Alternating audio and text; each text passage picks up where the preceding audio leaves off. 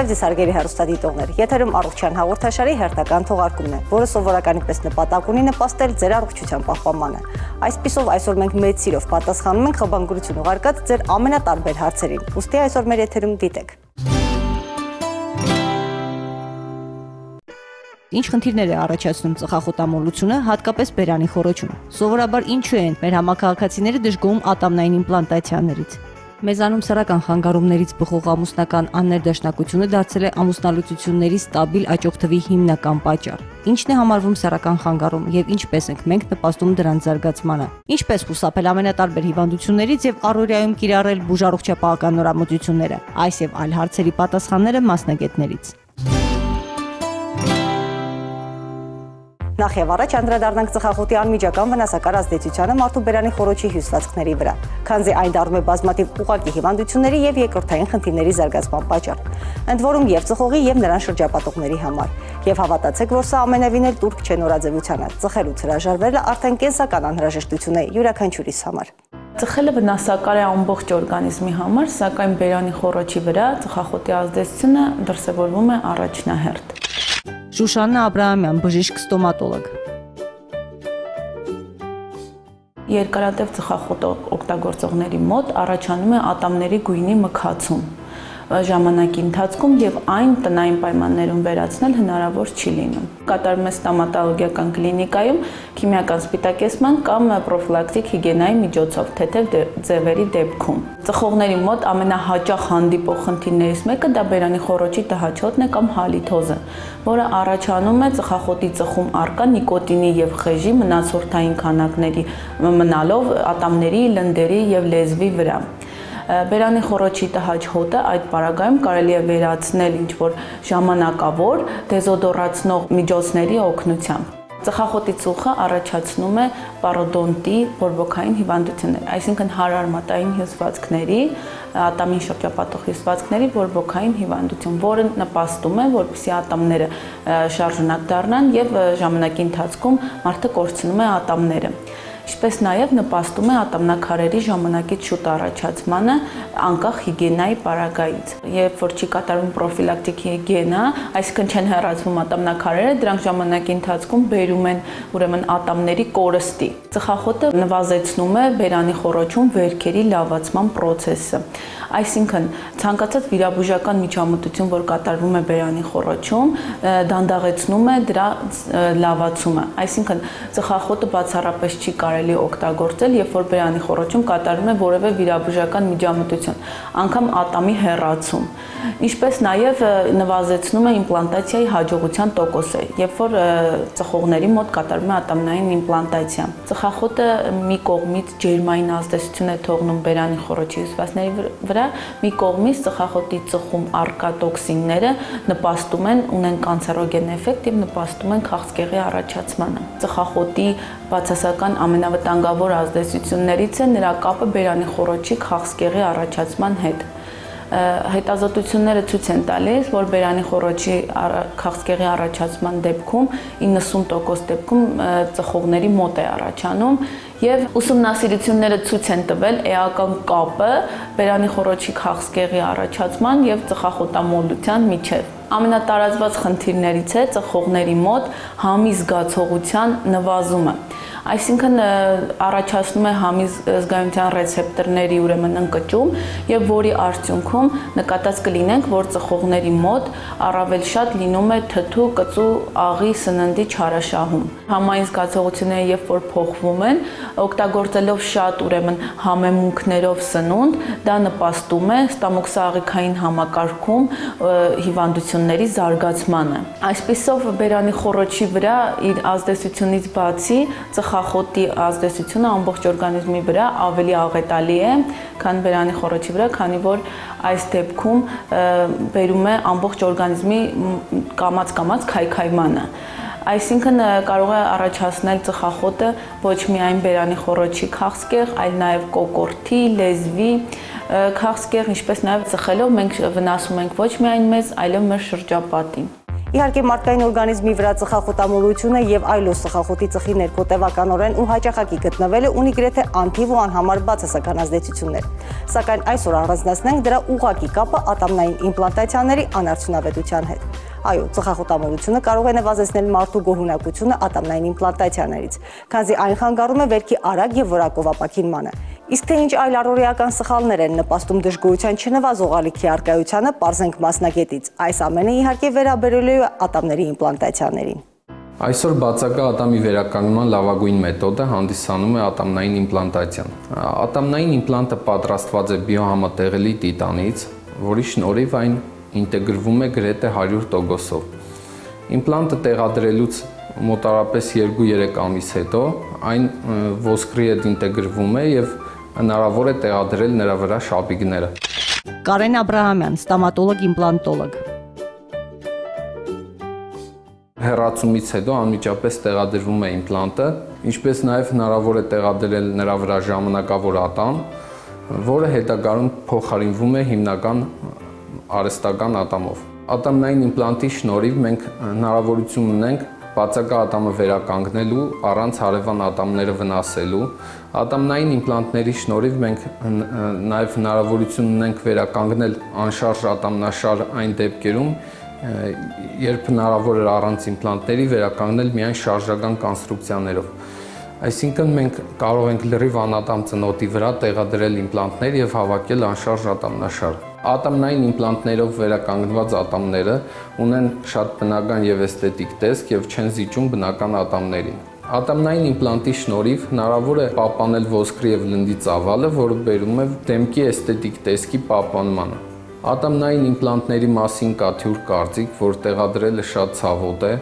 ասեմ, որ տեղադրելը ցավոտ չի, այն կատարվում է սովորական տեղային անզգայացմամբ, այն կարելի է համեմատել սովորական պլոմբավորման հետ, որի ժամանակ նույնպես կատարվում է ատամի անզգայացում։ Անզգայացումից հետո պացիենտը ոչ մի ցավ չի զգում։ Կա կարծիք, որ ատամնային իմպլանտը հնարավորություն ունի ոսկրի կողմից չընդունվելու, ասեմ, որ այդ կարծիքը սխալ է։ Ադամնային իմպլանտները ընդունվում են գրեթե 100%-ով, այսինքն եթե ինչ որ ինչ որ կերպ չի ընդունվել ատամնային իմպլանտը, ապա պետք է պատճառը փնտրել ոչ թե իմպլանտի մեջ, այլ բժշկական սխալի կամ հիգիենայի հետ կապված սխալներ ա տեղի ունեցել։ Կամ վերքը լավ չի կարվել, իմպլանտը հերմետիկ չի փակվել, կամ հետագա խնամքի ընթացքում նախնական շրջանում վերքի հետ կապված պացիենտը չի կատարել բժշկի բոլոր ցուցումները, որի պատճառով իմպլանտը հնարավոր է որ չինտեգրվի։ Եթե ամեն ինչ ճիշտ արվի, ատամնային իմպլանտը ինտեգրվելու է մոտ 100%-ով։ Հաճախ առաջանում են հարցեր, որ ինչ որտեղ իմպլանտոլոգը ասել է, որ հնարավոր չի տեղադրել իմպլանտ ոսկրի դեֆիցիտի պատճառով,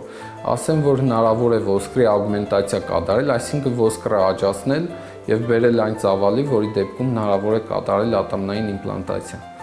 Այսինքն կարելի ասել գրեթե բոլոր դեպքերում մենք կարող ենք կատարել ատամնային իմպլանտացիա։ Եթե խոսում ենք անատամ ծնոտների մասին, ապա հնարավոր է անշարժ կոնստրուկցիաներ պատրաստել ծնոտի վրա, տեղադրելով մոտ 8 իմպլանտ կամ տրային տոմոգրաֆիայի ուսումնասիրության արդյունքում որոշվում է թե որ դիրքերում է տեղադրվելու, քանի հատ Ատամնային իմպլանտացիայի համար հաճախորդը պետք է անցնել հետազոտություններ, նա հանձնում է արյան տանուր անալիզ, գլյուկոզայի անալիզ, այնուհետև նա կատարվում է կամպյուտերային տոմոգրաֆիա, որի որի միջոցով պլանավորվում է վիրահատությունը։ Պետք է կատարվի բերանի խորոչի սանացիա ամբողջությամբ, որի համար անհրաժեշտ են ժամանակակից սարքավորումներ, ադամնային իմպլանտ տեղադրելու համար պետք է ունենալ համապատասխան սարքավորումներ, այսինքն եթե կլինիկան ունի ադամնային իմպլանտացիայի լիցենզիա, նա պարտավոր է ունենալ բոլոր սարքավորումները։ Ատամնային իմպլանտացիան համարվում է ոչ ամբուլատոր ծառայություն, այսինքն այն հնարավոր է կատարել ստոմատոլոգիական կաբինետներում համապատասխան մասնագետի արկայության եւ համապատասխան լիցենզիայի արկայության դեպքում։ Ցանկալի ատամնային իմպլանտացիա կատարվի 18-ից բարձր տարիքային տարիքի մարդկանց մոտ սերային սահմանափակում չկա, իսկ բարձր տարիքի մարդկանց մոտ, եթե առողջական վիճակը թույլ է տալիս, հնարավոր է նույնպես կատարել ատամնային իմպլանտացիա գրեթե բոլորը հարաբերական սամնափագում են, այսինքն եթե ինչ որ process կա սուր փուլումը, հնարավոր է սпасել ռեմիսիայի փուլին եւ նոր կատարել ատամնային իմպլանտացիան։ Այսինքն եթե մարդու մոտ կա սուր սրտային անբավարարություն, ինչ որ սուր բորբոկային process-ներ, շաքարախտը նույնպես կարելի է բերել կոմպենսացված վիճակի, հետո կատարել ատամնային իմպլանտացիա։ Ատամնային իմպլանտները ասեմ, որ ծառայելու ժամկետով մոտ մի քանի անգամ գերազանցում են մյուս այլ կոնստրուկցիաներին, որոնք են կամրջաձև պրոթեզները, բյուգելային պրոթեզները։ Որպես մասնագետ միանշանակ բոլորին խորհուրդ կտամ բացակա ատամները վերականգնել ատամնային իմպլանտների միջոցով, քանի որ այն հիմա համարվում է լավագույն մեթոդը։ Անկասկած ստամատոլոգիայում թվային տեխնոլոգիաների արկայությունը իր հերթին ել ավելի է բարձրացնում աշխատանքների որակը եւ անվտանգությունը, սակայն այս մասին հաջորդ անգամ։ Իսկ այս պայն անցնենք թողարկման հաջորդ նյութին։ Մեզանում սեռական խանգարումներից բխող ամուսնական աններդաշնակությունը դարձել է ամուսնալուծությունների ստաբիլ աճող թվի հիմնական պատճառ։ Ինչն է համարվում սեռական խանգարում եւ ինչպես ենք մենք նպաստում դրանց զարգացմանը։ Հարգելի հեռուստադիտողներ, մենք շարունակում ենք պատասխանել ձեր բազմաթիվ հարցերին ու այս անգամ փորձել ենք դա անել հետևյալ ձևաչափով։ Առաջարկում եմ մասնակետի խոսքին հետևել համակ ուշադրությամբ, քանզի շատ կարևոր նրբությունների մեկնաբանությունները անհրաժեշտ են յուրաքանչյուրի սիմացության համար։ Բժիշկ ինչ խնդիրների կարող է հանգեցնել վաղ սեռական կյանքը եւ որ տարիքից սկսած է այն համարվում վաղ իսկապես։ Սեռահասության հասակը, որը տևում է մինչև 12-ից 16 տարեկան եւ անհատը ունակ է արդեն ունենալու վերարտադրողական ֆունկցիա եթե ամեն ինչ ներդաշնակ է ընթանում։ Դրան հաջորդում է անցումային շրջանը, այդ 16-ից 25 տարեկան հասակն է ընկնում, համապատասխանում, որի ժամանակ արդեն իսկ որոշակի մեծ թվով մարդիկ ապրում են սեռական կյանքով։ Սևադա Հակոբյան, սեքսապաթոլոգիայի համալսարանական կլինիկայի ղեկավար, Երևանի Պետական բժշկական համալսարանի սեքսապաթոլոգիայի ամբիոնի վարիչ, բժշկական գիտությունների տեխնացու, դոցենտ։ Եթե լինում են որոշակի խնդիրներ, պայմանավորված ուղեղի խնդիրների հետ, հիպոթալամուս, հիպոֆիզ հորմոնալ համակարգի հետ, ապա տեղի է ունենում վաղաժամ մարմնասեռական զարգացում։ Մարդուն մղում են դեպի ավելի վաղ սեռական կյանք։ Իհարկե սա հղի է որոշակի հետևանքներով։ Շատ հաճախ սա կարող է հանգեցնել նաև անցանկալի հղիությունների։ Շատ թույլ ինֆորմացիան առումով սեռավարակների վարակվելու խնդրահարույց խնդրեմ, եթե չի կիրառում համապատասխան միջոցներ եւ կանխարգելիչ միջոցներ։ Հոգեբանական առումով դեռահասարդ դեռևս անպատրաստ է լինում, որի պատճառով կարող է առաջանալ իր պատկերացումների եւ իրականության մեջ լուրջ հակասություն։ Հետագայում որոշակի հիասթափությամբ, եթե առաջին կինակցումը տղաների մոտ տեղի ունենում մարմնավաճառների հետ եւ այլ եւ այլ եւ շատ ավելի հաճախ ավելի տարիքով բարձր անձանց կանանց հետ, դիմացինը զուգընկերուհին կարող է որոշակի վարկագծային ոչ ճիշտ դրսևորումների պատճառով հակակրանք առաջացնել կամ սեփական անձի նկատմամբ կոմպլեքսների առաջացման պատճառ հանդիսանալ։ Այդ ժամանակ տեղի ունենում որոշակի սեքսուալ ֆունկցիայի ոչ բավարար գործունեություն, ինչը տղաների մոտ կարող է սեփական անձի մասկուլինության, տղամարդկային հատկությունների ոչ լիարժեքության մասին պատկերացումների հիմք հանդիսանալ եւ հետագայում այդ տղաները ավելի հասուն տարիքում սկսում են խուսափել սեռական կյանքից իրենց վերագրելով որոշակի սեռական խնդիրներ։ Այս կոնտեքստով բավականի կարևորագույն նշանակություն ունի սեռակրթությունը, ինչը որ ավելի կանխարգելիչ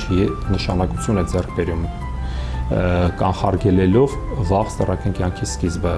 դրանով հետևանքով նաև կանխարգելելով որոշ սեռական հիվանդությունների առաջացումը։ Արդյոք սա կարող է պատճառ դառնալ հետագայում սեռական այլասեռումների եւ առհասարակ ինչն է կոչվում սեռական նորմա։ Պետք է ասել, որ սեռական նորմա հասկացողությունը ունի մի քանի ասպեկտներ։ Նախ տարբերում ենք բարոյական նորմա հասկացողությունը, Հիմա եթե մենք դիտարկենք սեքսոլոգիական նորմայի տեսանկյունից, ապա անհատը պետք է կաշկանդված չլինի իր սեռական գործունեության մեջ, չունենա որոշակի կախյալություններ, սահմանափակումներ։ Եթե անհատի մոտ առաջանում են որոշակի սեռական խնդիրներ պայմանավորված սեռական վարկագծի հետ, ապա դրան կարող են նպաստել նաև միջավայրի գործոնները։ Եվ ըստ էության, եթե դա հաճախակի եւ ռեգուլյար բնույթ է կրում, ապա կարող է իր հետևանքները ունենալ։ Իհարկե նաև բնորոշ այլ միջավայր է, որտեղ դեռասը մեծանում է, որովհետև շատ հաճախ նա կարդում է կամ տեսնում է կամ ընդօրինակում է շրջակա միջավայրում տեղ ունեցող process-ները։ Եվ դա կարող է նաև պատճառ հանդիսանալ որոշակի դեպքերում նաև կեղծ ծառական խանգարումների առաջացման որ տարիքից սկսած ձեռական կյանքի բացակայությունն է արդեն դառնում խնդիր։ Եթե անհատի մոտ արկա է սեռական կյանքի բացակայություն, ապա օրգանիզմում տեղ ունենում այնպիսի փոփոխություններ, որոնք արգելակում են սեռական ցանկությունը։ Համապատասխանաբար նաև ընկճվում են ֆիզիոլոգիական այն process-ները, որոնք որ ապահովեին սեռական կյանքը։ Իհարկե, այս պարագայում առաջանում է անհատների մոտ սեռական ֆունկցիայի ապամարզվածություն։ Ինչը ֆունկցիոնալ խնդրեմ է, որը կարող է երկարաժամկետ սեռական կյանքի բացակայությունից հետո պատճառ հանդիսանալ որոշակի խնդիրների արդեն սեռական կյանքը սկսելու առումով։ Անհատի մոտ առաջանում է որոշակի կաշկանդվածություն, անվստահություն, նաև սեքսուալ ֆունկցիայի նկատմամբ որոշակի ոչ վստահելի վարկագիծ եւ ինչը որ պատճառ կարող հանդիսանալ նաև հետագայում խուսափելուն սեռական կյանքից սեռական անհաջողությունը տղամարդու պարագայում երբ պիտի դառնա պատճառ, որ մարդը դիմի սեքսոլոգի օգնությանը։ Ցանկացած որոշակի սեքսուալ խնդիր կարող է պատճառ հանդիսանալ նաև այլ սեռական խնդիրների առաջացման։ Սա շղթայական ռեակցիայի մեխանիզմով է տեղի ունենում դիցոք անհատի մոտ արկա է վաղաժամ սերմաժայթքում, որը որ արտակնապես կարող է խնդրեմ չդիտարկել հնցույթը։ Սակայն երբ որ դա տևական բնույթ է կրում եւ երկար եւ բոլոր հարաբերությունները ուղեկցում են վաղաժամ սերմաժայթքման, ապա տղամարդու մոտ առաջանում է անվստահություն, սկսում են խուսափել սեռական կյանքից ժամանակի ընթացքում, ինչը շատ ավելի սկսում է խորացնել վաղաշեմ սերմեջակման խնդիր, այսինքն սեռական հարաբերությունների ռեգուլարությունը տուժում է։ Ավելի հազվակի սեռական կյանքով ապրելը առաջ է բերում նաև սեռական ցանկության նվազում հորմոնալ փոփոխություններ, տեստոստերոնի ակտիվացման փոփոխություններ եւ շղթայական ռեակցիայի մեխանիզմով արատավոր ուղղակի ձևավորվում, ինչը ել ավելի է խորացնում այդ թվացial անմեղ սեռական խանգարումը եւ կարող է պատճառ հանդիսանալ զույգային լուրջ աններդաշնակության, ամուսնական զույգի լուրջ աններդաշնակության։ Ոստի եւ ցանկացած ֆունկցիոնալ փոփոխություն, ցանկացած խնդիր, որը որ զույգի համար խնդրեմ է դիտարկվում, անհրաժեշտ է բազմակողմանի քննարկում իրականացնել, սեքսոլոգիական տեսանկյունից վերլուծել դրա ախտածակումը, պատճառագիտությունը եւ կարգավորել։ Եթե խնդիրը սիմպտոմատիկ է, այն ավելի հեշտ է լուծել ժամանակին եւ ավելի քիչ միջոցներով, ավելի քիչ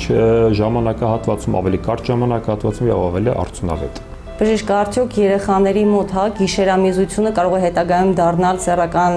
խնդիր եւ ինչ կապ ունեն սրտանոթային հիվանդությունները եւ ինֆարկտը սեռական առողջության հետ։ Այն պացիենտները, որոնք որ ունենում են մինչև ուշ տարի գիշերամիզության խնդիր, կանխարգելիչ որոշակի միջոցառումներ պետք է իրականացնել, որպեսզի սեռական կյանքը սկսելուց կամ դրա ընթացքում նրանց մոտ կանխարգելել վաղաժամ սերմեջատման առաջացումը։ Այո, մեծ կապակցություն ունի։ Ինչպես նաև այս երկու խնդիրների ժամանակ անհատների մոտ կան որոշ նևրոլոգիական ռեֆլեքսներ կամ վիճակներ, որոնք որ արտահայտվում են եւ այն դեպքում եւ սեքսոլոգիական խնդրի դեպքում։ Սիրտանթային հիվանդությունները շատ հաճախ ուղեկցվում են նաեւ սեքսոլոգիական խնդիրներով։ Սա ընդհանուր օրգանիզմի անոթային process-ի դրսևորումներ են, սեռական օրգանները սնուցող անոթների էնդոթելը սկսում է վնասվել, ապա առաջ է գալիս անոթային մեխանիզմով պայմանավորված սեռական խանգարումներ, ինչպես տղամարդկանց, այնպես էլ կանանց մոտ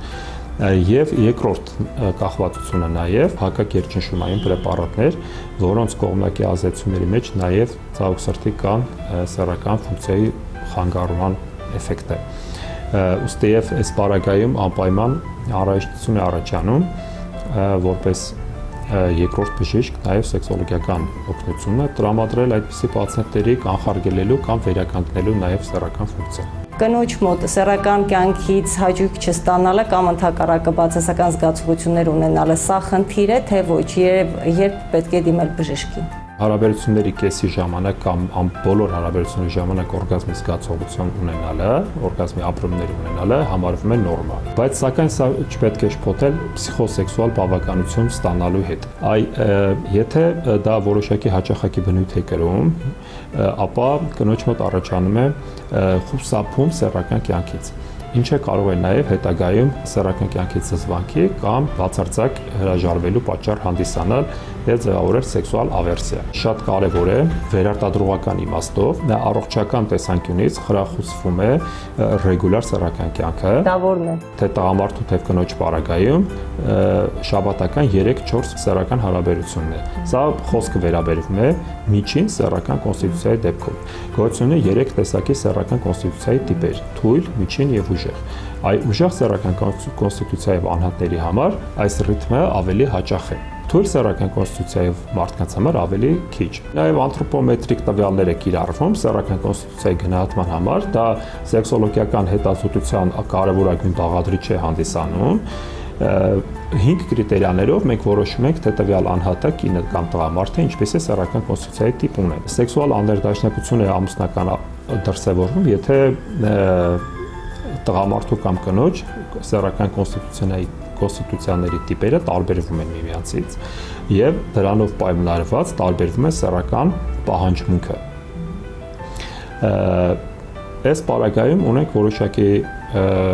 բուժման անելիքներ, որովհետեւ կարողանանք ներդաշնակությունը վերականգնել ամուսնական զույգի մոտ։ Բժիշկ, իսկ որոնք են սեռական վարքագծային եւ ընդհանուր կենսակերպի այն սովորությունները, որոնք բացասաբար են անդրադառնում սեռական առողջության վրա։ Այն բոլոր բացասական սովորույթները կամ վիճակները, որոնք որ ընդհանուր առողջության համար վնասակար են,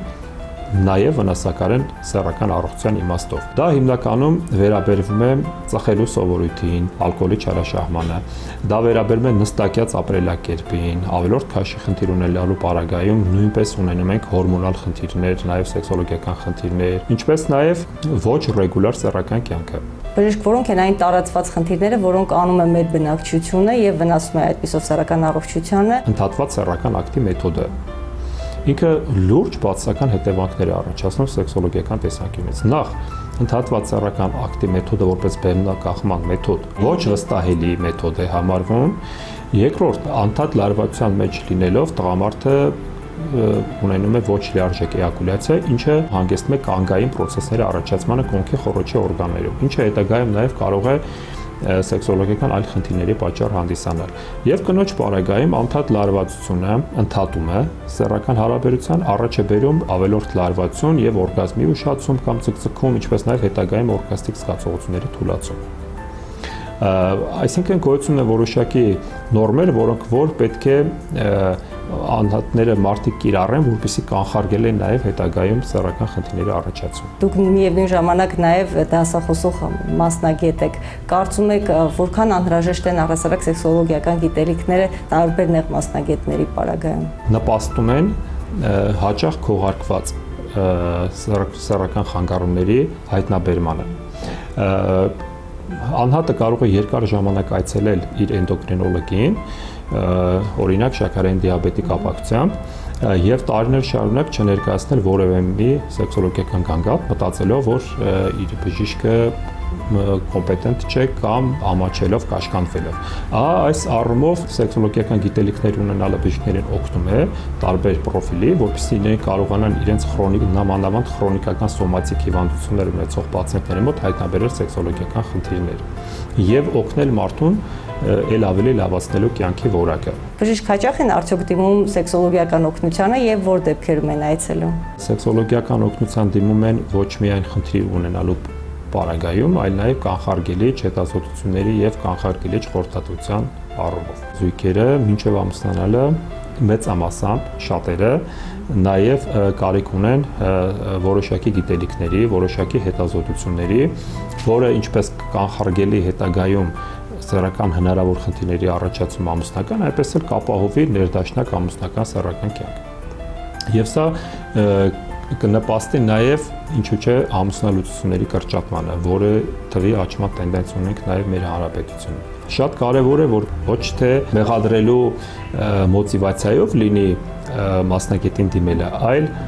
զույգային մոտեցմամբ, զույգային մտածելակերպ ցուցաբերելու պարագայում մենք կարողանում ենք խնդիրը լուծել լիակատար։ Սեռական ներդաշնակության վերականգնումը անպայման ենթադրում է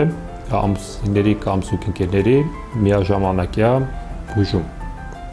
ինչը ապահովում է մեծ արդյունավետություն, բարձր արդյունավետություն։ Պետք է ասել, որ ընդհանուր առողջապահական տեսանկյունից սեքսոլոգիական խնդիրների բուժման արդյունավետությունը շատ բարձր է։ Այդ դեռասային տարիքում կատարվող որոշակի հետազոտություններ, այդ թվում նաև անթրոպոմետրիկ հետազոտությունները, մարմնաչափական, այնպես էլ նաև հորմոնալ որոշակի հետազոտություններ կապարտադիր են եւ շատ կարեւոր են հետագայում խնդիրները կանխարգելելու համար գիտեք այսօր վերարտադրողական առողջության առումով լուրջ խնդիր ունենք համաշխարհային տվյալներով ուստի եւ այդ վերարտադրողական օրգաններ այդ process-ները ավարտվում են հիմնականում 12-ից 16 տարեկան հասակում եւ այդ ժամանակ անկախ ամեն ինչից որոշակի հետազոտություններ կան, որոնք որ եւ աղջիկների եւ տղաների պարագայում համարվում են պարտադիր։ Եթե խնդիրներ լինի, ապա ժամանակին այդ տարիքային խմբում իրականացրած բուժումը շատ ավելի արդյունավետ է լինում, իսկ երբ որ արդեն մեծ տարիքում է, երբ որ ավարտվել են արդեն հիմնականում վերակառուցման այդ օրգանների վերարտադրողական այդ ֆունկցիոնալ մասերի ստեղծման process-ները, ապա ազդեցության մեխանիզմները ավելի սահմանափակ են միջոցները։ Հարգելիներս, այսօրվա համար նախատեսել ենք այսքանը։ Ձեր այլ հարցերին պատասխաններ ստանալու համար մեզ հետ կապ հաստատեք ներկայացված կոնտակտային տվյալներով։ 077 81 46 35 հեռախոսահամարով առողջարան շնիկ կետրու էլեկտրոնային հասցեով։ Սպասեք մեզ եթերում նոր ուշագրավ նյութով հաջորդ շաբաթ այսօրը այս նույն ժամին։ Առողջություն ձեզ։ Ցտեսություն։